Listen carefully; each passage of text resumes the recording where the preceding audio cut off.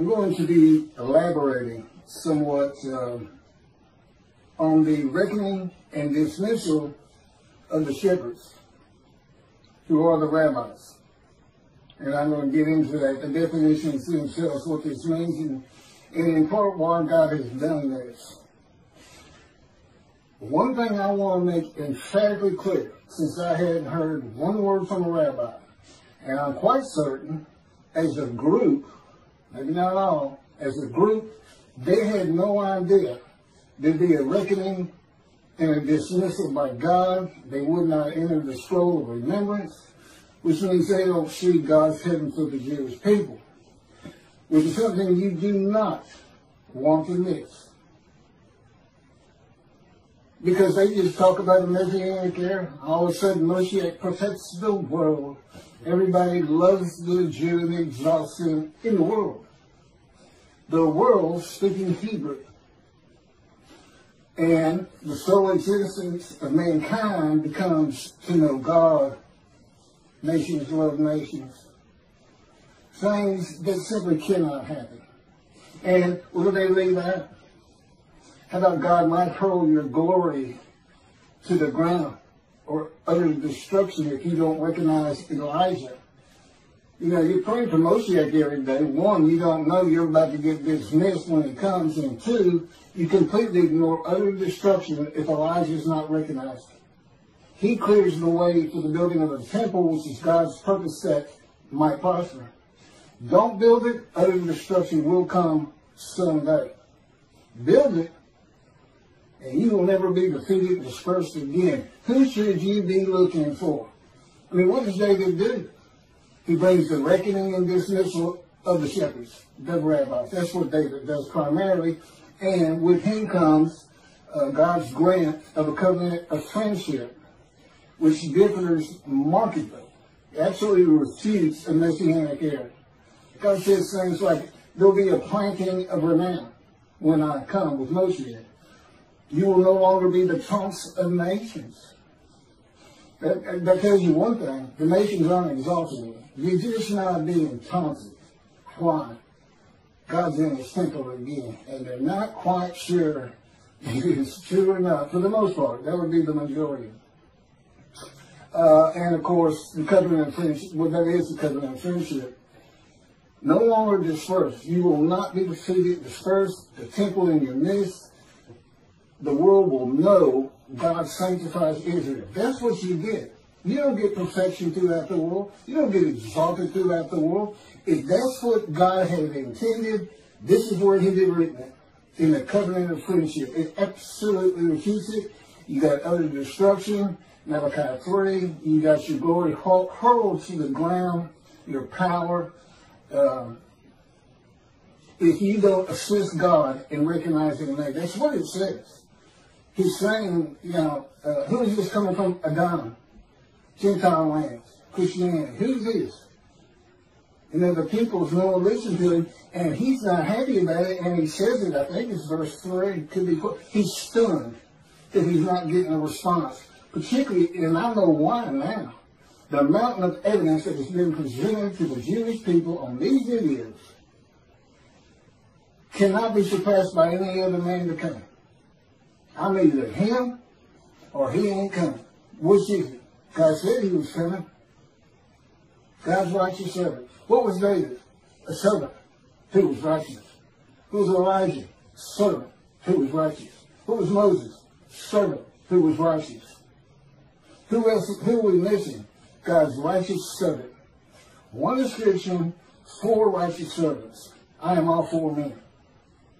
I, I just reposted it again. I have a verse by verse commentary solely showing how I and my life fits Isaiah 53 and explaining it. Explaining what he was wounded for our sins means. No man has ever been able to do that before me. Certainly not totally a sinner with his absurdity, an absolute absurdity. Six million Jews die and then a ram, a lamb guilt offering. That's not even all of Israel. That's about one third of Israel at the time. Nobody got long life. it looks like Hitler's the one who made the sacrifice, and he didn't get long life. No one's made, no one is made righteous because of it. It's an absurdity. Okay, he couldn't come close to interpreting the true meaning and the way to um, to make this understandable. Isaiah 53 is in large part a snare. Okay, God knew the Gentiles, the Gentiles were going to take your book one way or another.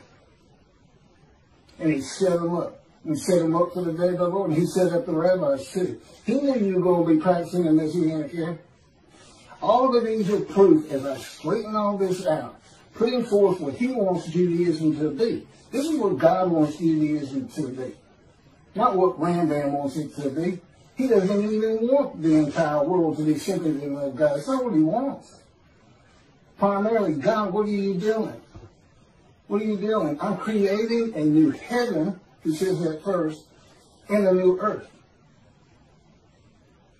What's new about the heaven you're creating? What changes?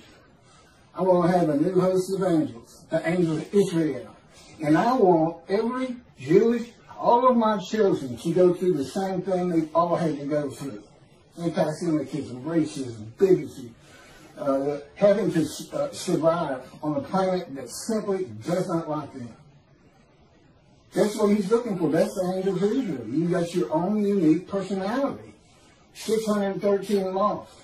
Okay, about 200 of them were animal sacrifice, and that was done away with by his prophet. God said, I don't want your animals anymore. It totally his finger thinks he wants a human being.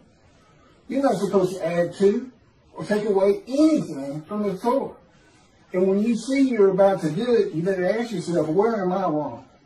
Where am I wrong to add a human being, much less six million of them, and, uh, you know, let's go on Christian. That's what they do. Let's put a human being in an unblemished lamb and we'll be sin free.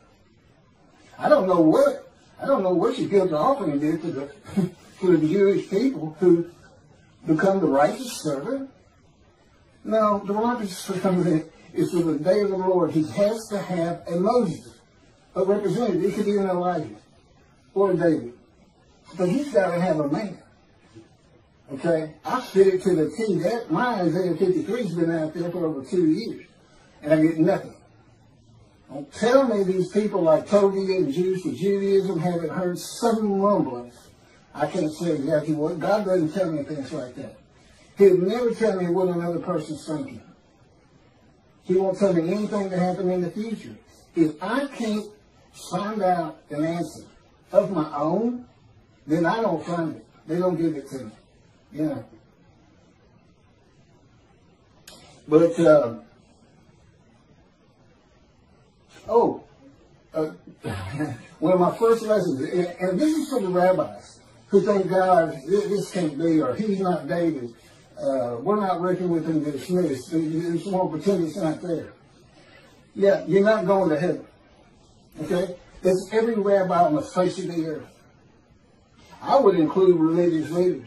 Matter of fact, if I had my way, and I don't, I'd include the government because they're leaders. But let's get to this first. Because y'all don't know God like I know God. I've been with him for 13 years in the fire of assignment, punishment, chastisement, maltreatment, crushing, bruising, wounded. And it is constant and incessant. I will say this, I couldn't see it for about five years but it has changed. I am I am such a different man today than I was. When this thing started, I was no more capable of handling the tasks that are before me, such as clearing the way to the building of the third temple, just talking in front of people. I was a lawyer, but I was a book lawyer. I didn't like talking in front of people. Matter of fact, I can't remember a time I ever had. I wasn't sociable. I just, uh, I was a loner. All that's different now with God in me.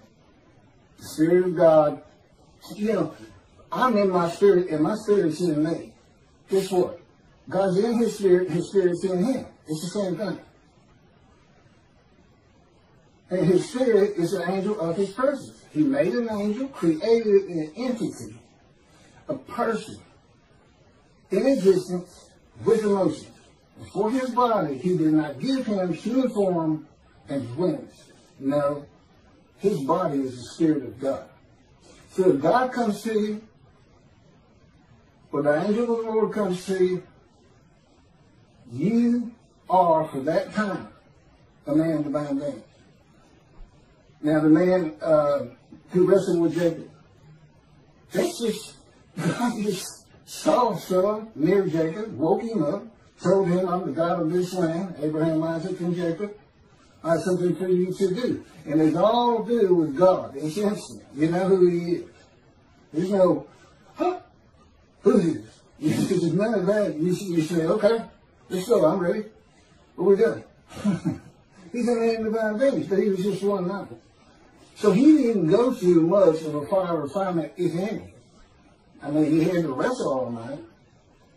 But God does this with all of his prophets. It's just a way of changing it. It's like, you know, he has to break our will.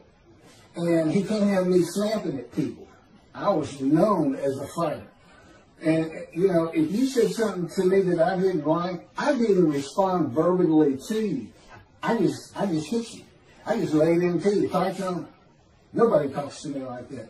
That's of I was. And that's, God said, this was taking so long. you know, it's that the last three years have been the worst out of 13. Going on 14 now. It's, you know, as he says, it just takes more to get the response out of you, the, the small change that I want out of you. I, and I'm saying, I'm ready. I am flat out ready. And what is the problem with your people? They don't know who you are. When you say utter destruction is coming, you're not fooling around.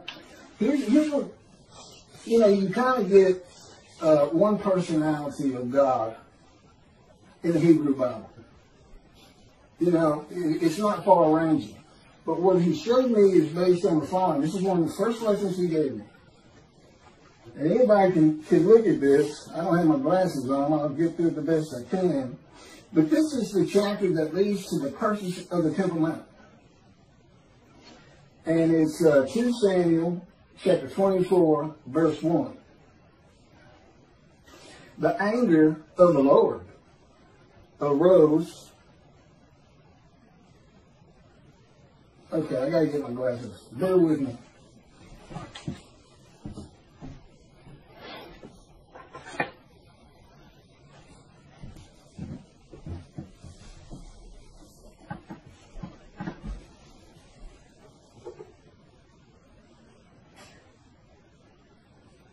The anger of the Lord again flared up against Israel. And he incited David against them, saying, Go and number Israel and Judah. That'd be the northern kingdom, kingdom of Israel, sometimes the kingdom of Ephraim, the largest uh, tribe landowner, immediately north of the lands of Benjamin, which is partitioned between uh, Ephraim and Judah. And Benjamin is considered part of Judah because that's where the kings rule from. Go on under them. Apparently there's some, there's some problem in taking a census. I don't know what it is. But uh, he incited David to do it, and then he put him into a three-pronged test. Do you want me to come against the people? Do you want me to come against you? And one other one. And he said, let it be against the people. Let no man take me. And God did. And he killed uh, pestilence. And 70,000 had died almost immediately. Now, did God just go down and kill 70,000 uh, Israelites? No. He takes the credit for it. It just makes him look mean and tough. Listen to everything I say. The pestilence was already there. God could see it. He knew it was coming. And he does this a lot. He says, I will come with utter destruction. No, his creation is going to utterly destroy Israel. I would suggest, he won't tell me, I would suggest we're talking nuclear bombs from Iran right now. Someday. And they'll do it. They will do it if they get it.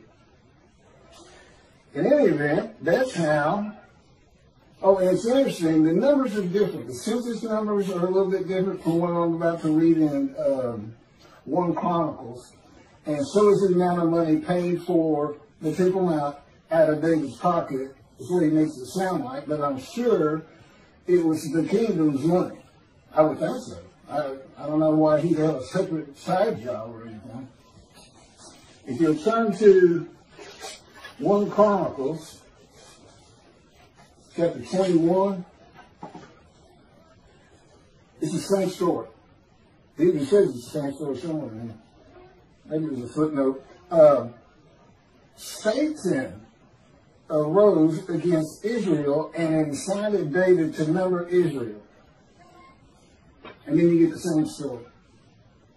You know, David David realizes what he did was wrong. See, he incited him. He didn't go tell him. He went to a prophet. He told somebody and this and that. And then David was all uh, wanted to be in repentance and was sorry he had done it. And again, I don't know why it's bad. Um, they, they won't tell me. I've asked them right before we started this. don't know. So, um, what, what, what, what is, what do we have here? Satan inside of David and God inside of David in the book of the prophets and in the writings, in the writings is Satan. First of all, Satan doesn't exist.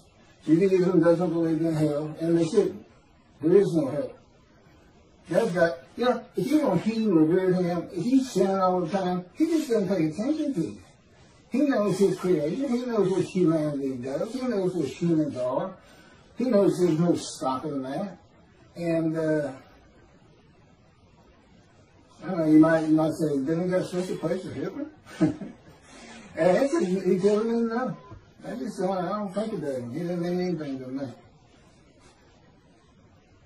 But Why is that in here? You, you would want to say, well, if I had to go either way, I say, uh, uh, one, one Samuel is who you go with because that's the book of the prophets. And I, I'd agree with that, except God wrote this whole book. He had a whole thing written. It's not just Torah. Don't forget that.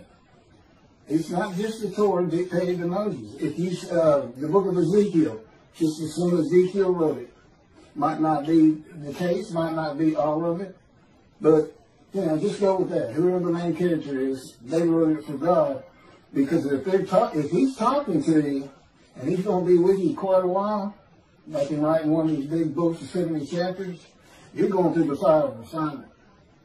Moses went through the fire of assignment. You know how you know? Because it breaks your will. It makes you humble. It, it, it, it, takes anger out of you that you used to not be able to control. We saw with Moses, he killed a man, he was so angry. He's getting into fights. Then he runs away. He, he, doesn't, he doesn't account for himself. He doesn't ask Pharaoh for, for, for uh, he, he doesn't repent. He runs away. He doesn't take account for his own actions. Not a good person. At the end of his life, it is said in the Bible, Moses was the most humble man on earth. God said, Keith, I put that in there primarily for you. So you would understand you're not the only one that's ever gone through this. He says, you're tops. I mean, you're four prophets in one. Uh, Moses would be number two as far as the severity. But it took a man with that kind of anger. And Ezekiel had that kind of anger. He said, he said, I want a, a spirit seized me. And I went in bitterness and the fury of my spirit in the hand of God. He's in the hand of God, but he's bitter and furious. I know the feeling. That's the fire of refinement. That is the key to understanding Isaiah 53 and those words. A man is wounded, chastised, brushed, crude, uh, bruised, now treated, so that I can go to those who are suffering guilt for sin and have the ability to make them understand God is here. Go to Judaism. Be observant. Stop sinning. Your guilt will go away. I offer myself to go through the fire of refinement so that I can remove your guilt. That's what it's all about. That's the first six verses, the witnesses. Wounded for our sins, bruised for this, crushed for this. Okay? It's, and, and it's just for me to be prepared. Now, he didn't even ask Ezekiel. He didn't have to ask me. You don't say no to him. He's God. You don't say no. You say, okay. I said, okay, a million times, I believe. But, so to, to explain this, God said, just imagine a scale with the most, the finest, goodest, nicest, kind, merciful person you could ever meet. And down here, put Satan, the meanest, most vile, uh, brutal, doesn't care about your pain. And he can go all through it. Okay? He, he, he literally decides what emotions he's going to have. Now, I'm in the of time, and I call this the black hat, this the white hat. This is what he taught me. And we have a lot of good times in here. I mean, there's a lot of white hat. And the Holy Spirit's always in the white hat. Uh, he can be a troubler sometimes, but you know, it's kind of set up by God. He sent to the sight thing. Uh, and, and, then um, the black hat. This is where he is with me most of the time. The style of. But we get over here. We get over here. Uh, the point is, he's not just uh, listen to what I say or I'll put a pestilence on you. Uh, if you don't stop sinning, I'm, I'm going to exile you. Uh, I'm going to take your temple. He, that would be someone over here, not necessarily to Satan, but he said that's why that was written that way. So I can tell you that. But he's really, I mean, when he's flat out in the middle, he, he, I just love that personality. It just does me well. So um, he, he wants me to tell the Jewish people about him. And my, you know, my story, is a lot I can't get into. I mean, he told me two things right off the bat. One, I don't care about pain. And there's nothing I won't do to get you ready. There's no low I won't sink to. I won't lie to you. And yeah, I know since God doesn't lie. In the fire refinement, he does. Anything to incite me. That would come under chastisement. Uh, wounding, slamming me to the ground. He broke my chin open two or three times, cracked my skull. I got a nervous bed, uh, black eyes, skin off my face. Uh, that's wounding. And, you, you, know, you ask yourself, what is this really doing to change me? But it eventually. I still don't understand it. I don't, I never understand it. but indeed it's working. So uh, for the rabbis, if you think by ignoring me with the amount of evidence God has put before you, I mean, he planned this entire book before he made creation and selected his chosen the entirety of it. That's why you only see the angel of his presence and Holy Spirit one time. Judaism says Holy Spirit is not a person. There's plenty of evidence in the scripture that he is, and I can tell you personally he is. And he's a great little person too.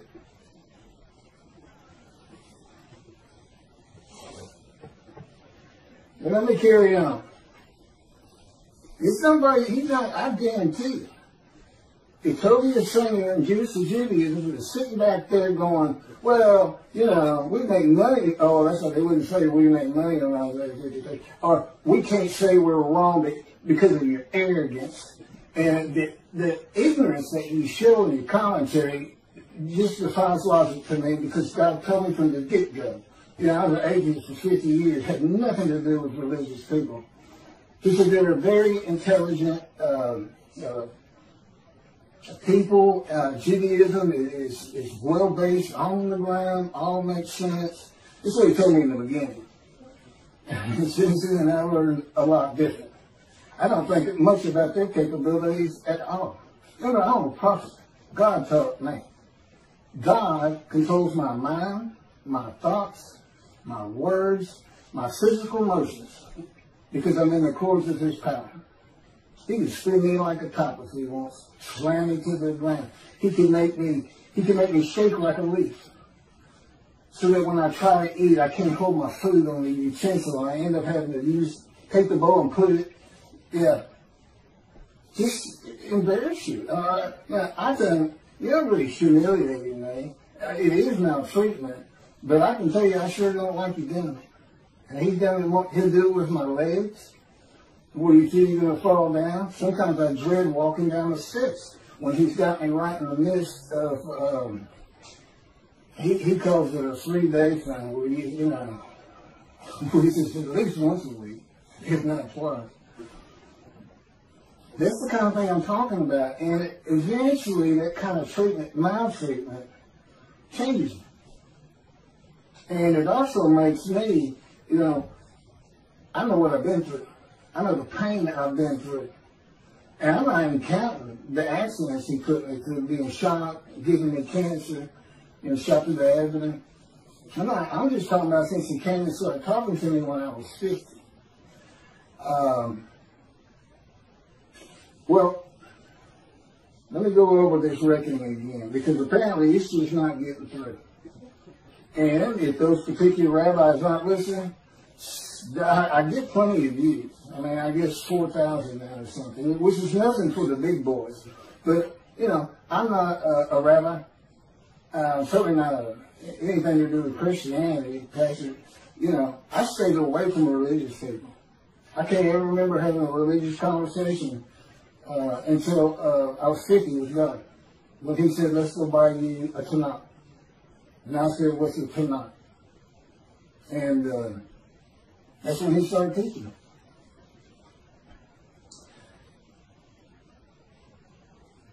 First said, apparently this, I don't know. I don't know the answer to this. I'd love to hear it. Why don't you know about this? Thus said the Lord God, I am going to deal with the shepherds. I will demand a reckoning of them for my flock, and I will dismiss them from tending the flock. Then I will appoint a single shepherd over them to tend them. He shall be a shepherd to them. I, the Lord, will be their God. My servant David shall be a ruler among them. Not a king ruling over them, among them. In the Mishnah Torah, Rambam's got two chapters on King David, and he's making every bit of it up. He's thinking, what would the Davidic dynasty be like today? And off he goes. None of it's in the Bible. None of it. King Moshiach will study Torah all the day and all the night. Mm, no, he doesn't. Not even close. That's what we, they, got the Torah now. We, you know, I know nothing about it. It's not like I haven't read it, but it's not like the prophets. Ancient student the writers.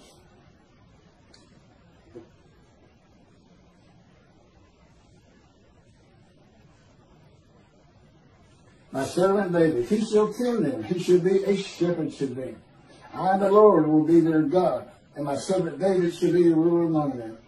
I, the Lord, have spoken, and I will grant them a covenant of friendship. Again, it is so far removed from the Messianic era. Uh, why, why, why don't the rabbis recognize that? You won't be the nations. You won't be defeated and dispersed again. His sanctuary amongst you, the world will know he sanctifies Israel, a planting of renown. That's it. That's what happens when Moshiach comes. You tell him I said so. If, if it looks like I'm a little, I get a little hot about this, God controls my emotions too. And that's how he wants them to hear it. And never forget, he can speak straight through me. As a rule, he's always speaking through me since he controls my thoughts and my words. But it's always based on my personality. He can change that. He can change that.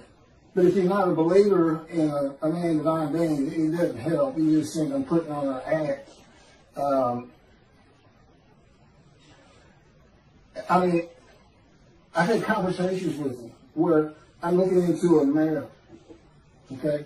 And when you're talking to people, you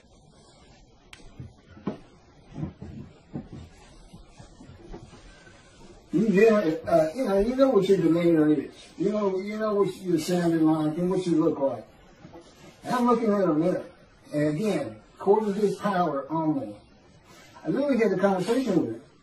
And I look in the mirror, and that's not who I am in that moment, and it's not what I sound like. And, you know, he, this is my lessons. I had lessons all day long, and I had for 13 years. I mean, he's doing something with me all the time. And, and primarily, again, it's controlling my mind is based on my capacity as Elijah to teach you how you can think in heaven. Your spirit reads your mind. Okay, your mind takes in, you know, your mind gets electrical impulses, little chemicals, different tissue, and it just, it takes in what eyes can take in and what ears can take in. Your person is the spirit in you. Spirit and soul.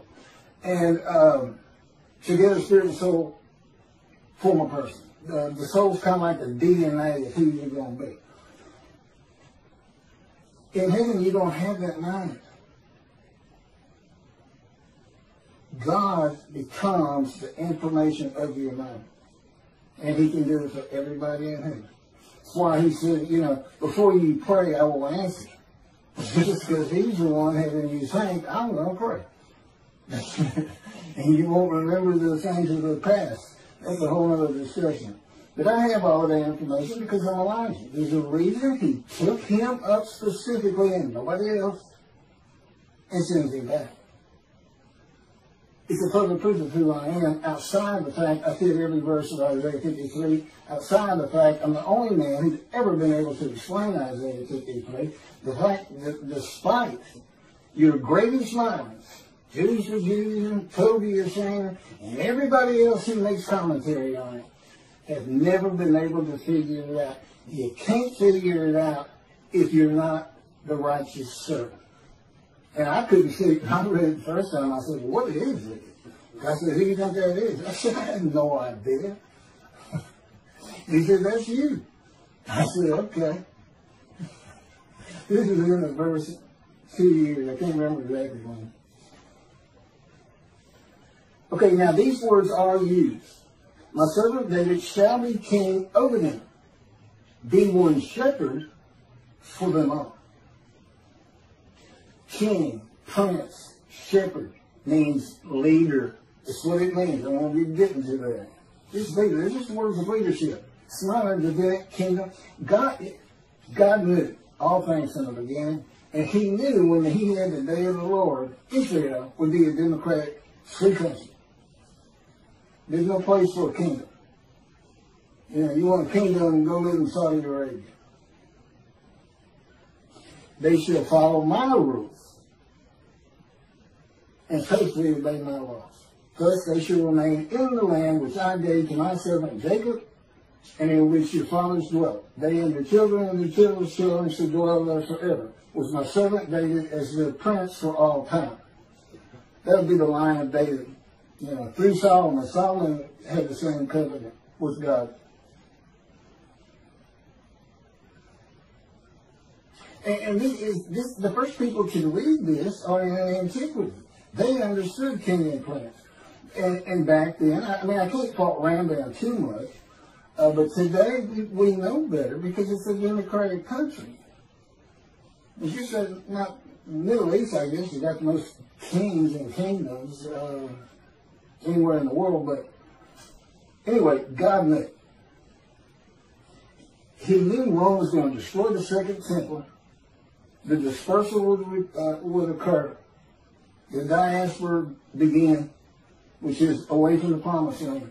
And he knew they weren't going to come back of their own, but that, and he didn't cause it, despite what Toby the Sinner says, but that the world would drive them back one day. He knew it was going to be ugly. But, you know, he said, why didn't you come help? why didn't you come back? You're not supposed to be out there. You got to learn your lesson. That's some black cat there. You see that? Don't forget, he is a celestial being. He is not human. He has emotions, but he can actually operate his emotions, whereas we can't. Uh, we can't see it.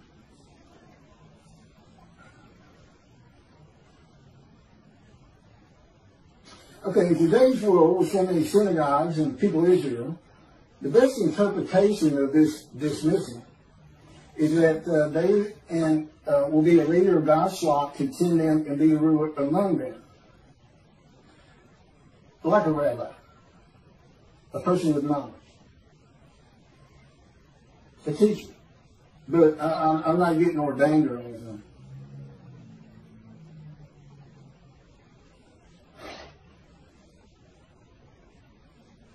Okay, reckoning. This is what reckoning means. It's the avenging or punishing of past mistakes or misdeeds. Teaching Messianic era. I mean, you, you just not putting your thinking hat on.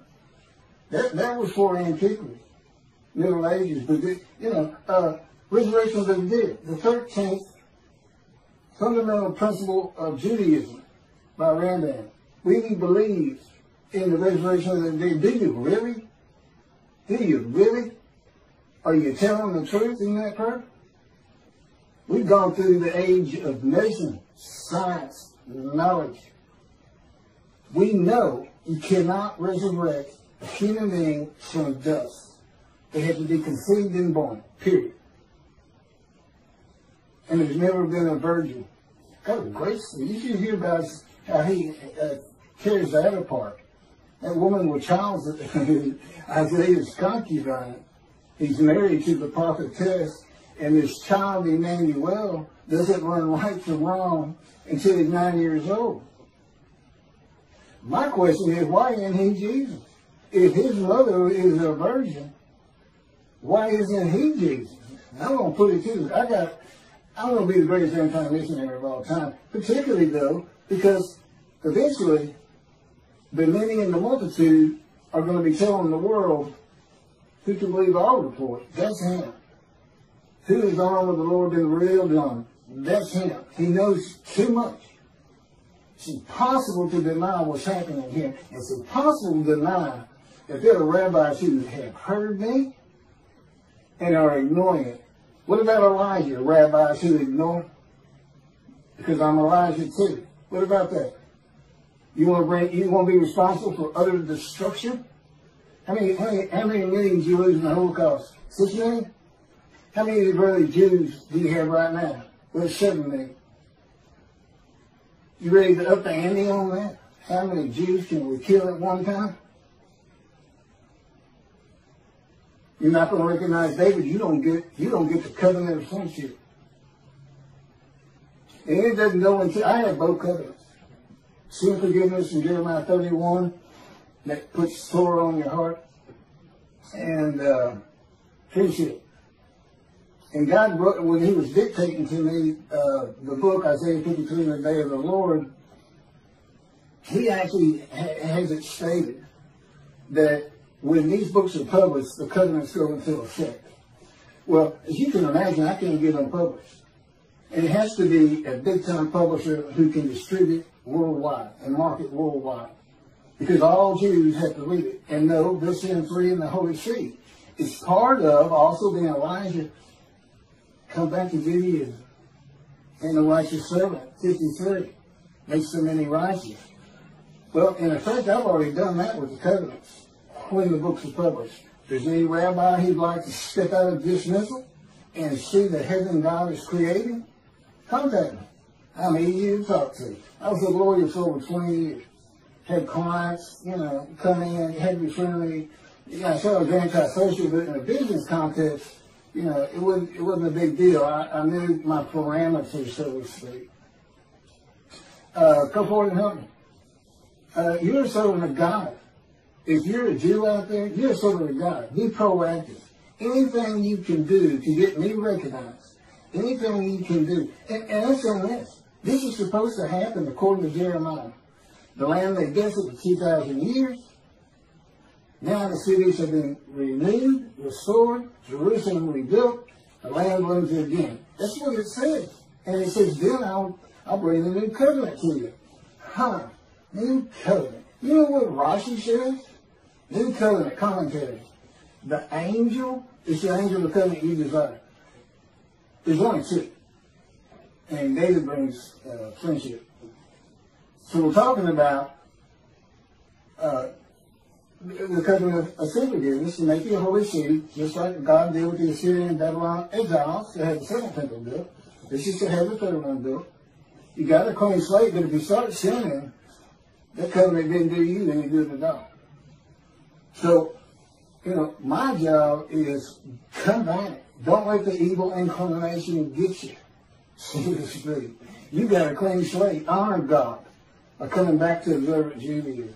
See, I got all kinds of pulls um, to help refill the synagogue, to grow every year instead of decline every year. And part of it is you got to change things like a resurrection of the dead. A time when the Jews are exalted. You know what you do? You make them lazy. What happens to never again, never forget? You got utter destruction on the horizon. I had no idea when God might just say, that's it. I, have given them enough. They won't respond. I'm, I'm, I'm leaving. And utter destruction will come to them. You never know. You're servants. His servants. You're not the righteous servant, as Toby is saying. And Jews for Judaism, Michael Skobac, and whoever actually did the commentary, that absurdity they both put out there.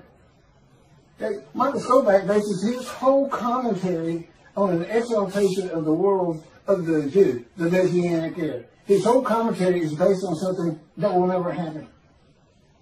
Never.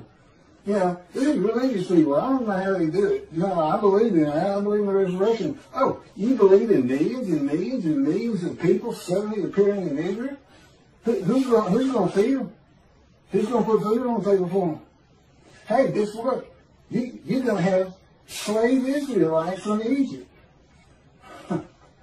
you know what God says? If you see a slave Israelite from Egypt, you know what you're supposed to do? Run run and get a gun quick. They'll kill you. These people were savage. They still weren't cooking the food back then. Slaves. No schools. Nobody around them school. No, nobody listening to. Believing in all kinds of gods and this and that from Egypt. Yeah, they're suddenly going to appear. That's what they say. Every single Jew who's ever lived. You got six million from the Holocaust. What are you going to do with that six million? It's just, it's just four years. It's the most. You got to lose the young people. You know, they're always looking for fake news. I guarantee you, if I if I sat down there in the synagogue when I was a young man, and I didn't, of course, I'd gotten up and walked up right in the middle of it. You're saying, what? You say every Jew who's ever lived is not a uh, cut, rise, old bones, rise. And, and the soul is going to come from some keeper of the soul's place and come into that body. That's your belief? Well, I got to go. I got to go. I heard y'all real practical down to earth. You know, you had things to do. You had Shabbat. You had holidays. Uh, you know, uh, mitzvahs. Uh, but I'm not listening to garbage, okay? I'm a man of reasoning and intelligence. The people in antiquity Middle Age weren't. And that the, all those things that you come up with, uh, swords into plowshares, you know, that was for a time gone by. That man will always be at war. Period. And most of that, no man can get all of Israel. Just to follow the Torah. Good luck. Only about 30% of them are even observant. You know, secular. God wants that straightened out. He wants a practical religion for the chosen, and He wants the world to hear about it, and it helps me take the wrath of God's Christianity. Lift me up. I'm the man of Isaiah 53. And, and where does that come from? Chapter 51. I'm going, I'm going to take my bowl of wrath, my, my cup of reeling, and I'm going to take it from you, my people, and I'm going to pass it to those who told you to get down on the ground and walked all over you, walked all over your back, something like that. Okay, what happens next? 52 comes up. That's where, that's where the righteous servant of Isaiah 53. That's where the description starts. 13 through 15, and then all of 53. Do you see the connection there? Wrath's coming. Now, how does that match up with it coming in the Messianic era curse? And there's a resurrection of the dead, which is a proof of who I am. Where's God's vengeance? Where's the doom upon the nation in Psalms 149 in Psalm 149 ending in 150 with an exaltation of the Lord, which you can think of as we're building the temple again. And by the way, it doesn't have to be on the Temple Mount. It's got to be on Mount Zion. Uh, things. One, it's not big enough for what God wants. He'll give me the plans when necessary. It's kind of like you know, getting the plans for um, the tenant meetings or you know anything. He'll give it to me. I give it to the right people. But they got to recognize who I am. You, know, you believe in the Messianic era, but, but, but you rabbis, you rabbis, God's got to force in your hand. That's what this is about. He's forcing your hand. And he's putting the destruction of Israel on your shoulders. And I'm not going to stop talking about it. And how you ignore me. You can't find greater just because it's not your faith. He says he's not a resurrection of the dead. I can't listen to him. I've never heard of the reckoning in business. They're arrogant and they're ignorant. To me. Now, regular society, they're real intelligent people. They can fool the flock who are just aimless sheep. They can't fool me because God's in me. He won't let it happen. And so I can incite them you tell either one of them, if they want to debate, don't call you a singer who says he'll debate anybody on 53. You tell him I'm ready. You tell him I'm ready. And he better take the sedatives before we get there because I will incite him. I will arouse him with my words. And you wait till I start getting hold of the Christians. If you've been reading the details and watching my videos, you see I've got some powerful things to tell them and I will not hold back. Remember, I'm, I'm not I'm not the most humble man in the world yet. This is the kind of person Moses and Ezekiel were.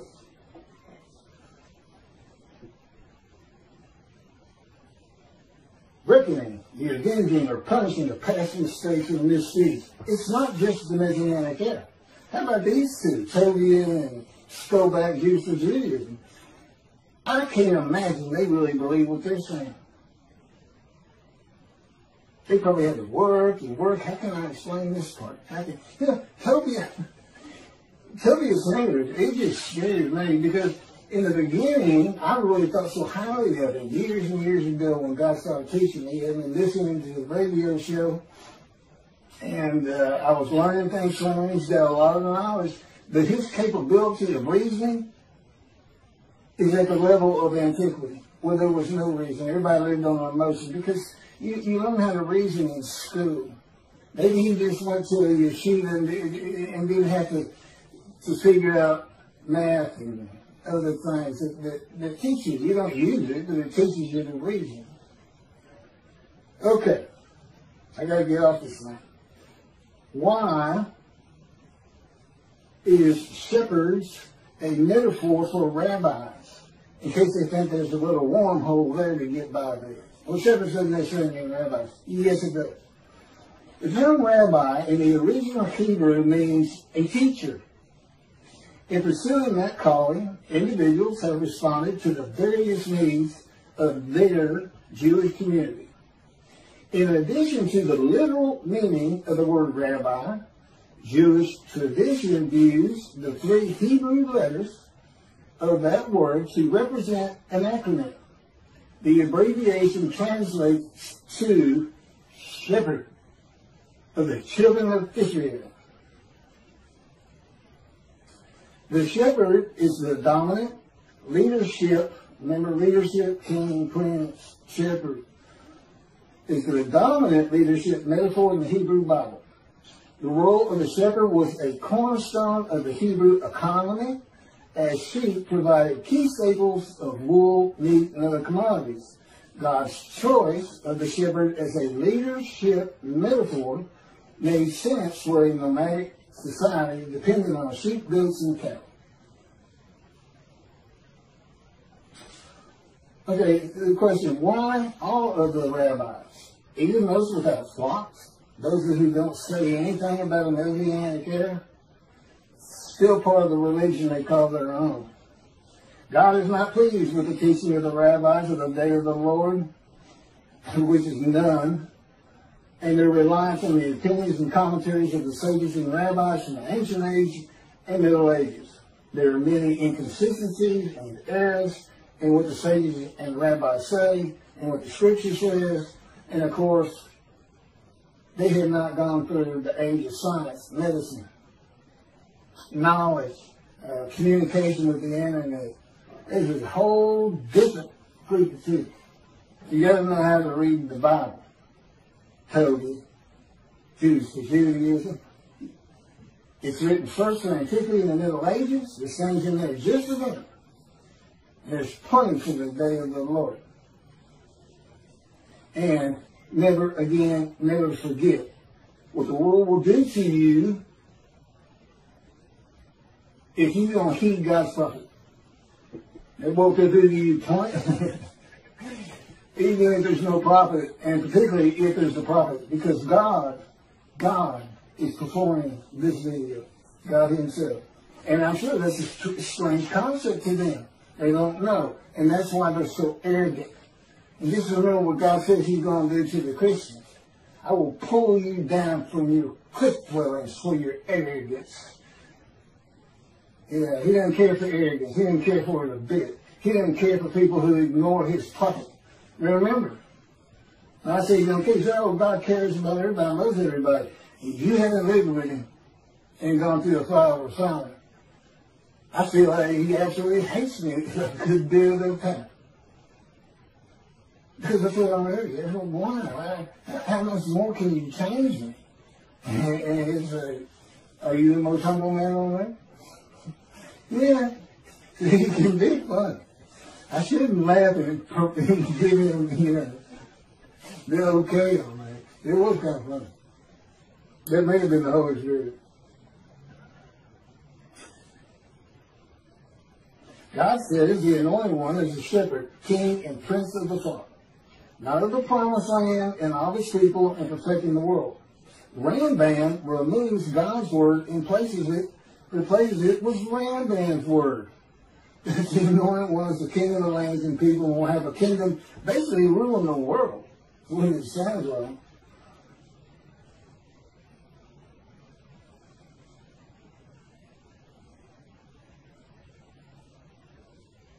God says the prophets were rarely listened to by religious leaders in biblical times before he starts speaking to the prophets. There's arrogance. You know, I know what I know, and that's my faith, and uh, I don't care what you say, I don't understand what you're saying. You know, and I think the Christians got a lot on that. Don't stand on the corner. I don't know. Anyway arrogance, and can't you, you can't admit you're wrong. Can't admit you're wrong, and can't accept the evidence God has given you as being insufficient. Or you're not even taking the time to look at it, you're hiding. You got your head in the sand. That's no better. You do not heed and revere the Lord. You say you do all you want. But his prophet is speaking, and when that happens, God is speaking. And uh, I don't see anybody listening to me. That's what this video is about. Trying to, trying to let y'all know how serious this is. You want to see 7 million dead Jews? You want to see Israel disappear? Keep ignoring Elijah. And that's what you get according to God. I know y'all just select what God's words you want to abide by. And then, and, and Rambam's word sounds so much better whole world just to know God. Food for everybody, delicacies like dust in the wind. Well, who's going to do the farming? Where, who's producing it? Is, is it my, my what is it? There's something in the desert and exit. My, come on. Again, they control my mouth. I like to embarrass me. It makes me laugh.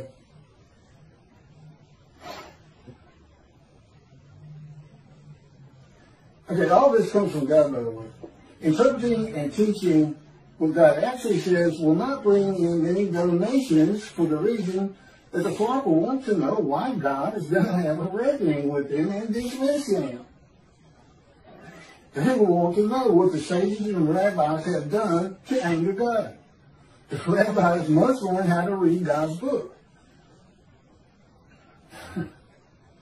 the Hebrew Bible. The two books he dictated to me explain what all that means. They must be they must be read and taught to remember this dismissal. And and if you're not a leader, if you're just an observant Jew, and you go to synagogue and all this and everything, tell everybody you know. You're a servant of God. And his words come from me. This is when it's supposed to happen, unlike Jesus, who prophesied five times when he was coming back, and every one of them, every one of them was false and failed. He didn't come back. He's gone. He's a myth anyway. He doesn't exist. You know, if you see a Christian and they want you ask you what you think about Jesus, tell them he's a myth. Don't don't tell them, oh you know, he was fine. I hear this all the time. He was a sign Jewish, uh, learned man, uh, but I don't believe that he died for my sins. No, don't do that. He's a myth. He's not real. God has an excellent argument on that that is put together in the book and it's also on videos. It has to do with the scenes of the uh, shows.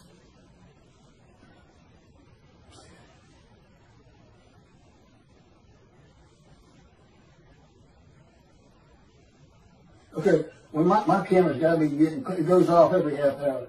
I'm going to just keep reading as fast as I can.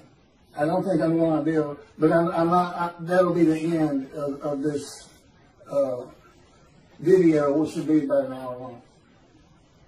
God has never changed the will of men or how they think of him and the Jewish people in his power. Any exaltation the Jewish people receive from the world will come through the efforts of God's righteous servant. That's me. But with him in control of everything I'm doing. As directed and commanded by God as he did with Moses. Moses was a man divine beings. I am God's servant David, the only shepherd of the flock God recognizes, and my unwritten purpose, we know what the written ones are. Let's see what Elijah's clearing the way, recounseling families back uh, with Judaism, God's righteous servant, like the name righteous. Uh, you mentioned the prophet like Moses. You're talking about somebody who will write his words and speak his words. Um, uh, nobody's in bondage today. And that's the other thing he did. Elijah, ask him about heaven.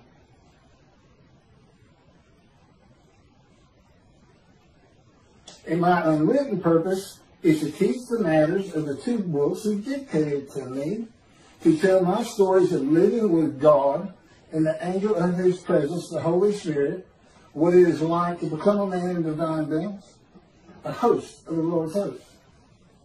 Would be unwritten purpose, and I'm sure he's got plenty of others. The rabbi said, to heed me, I hadn't heard a peep out of him. Here's a man declaring he's Elijah. Utter destruction comes if they don't recognize me, and they don't want to speak to me. They don't want to get through books and read them. I know, I know Toby had to the most part because nobody from Israel's read them. I'd be too embarrassed. And in, in, in, in his arrogance, in his popularity and stardom, he's not even checking it out. Total disregard for utter destruction and death. And today, 7 million Israeli Jews. Utter destruction. It doesn't mean running through. Yeah, some might get out. Good luck making it over to Europe. If they're going to nuke you, they're going to have you surrounded at the same time. It's about time they read uh, God's book, It's scripture. It's not canonized. It may be one day. But it's scriptures divinely received, verbally given to me. Keep good your computer. Write this down. There's a whole lot of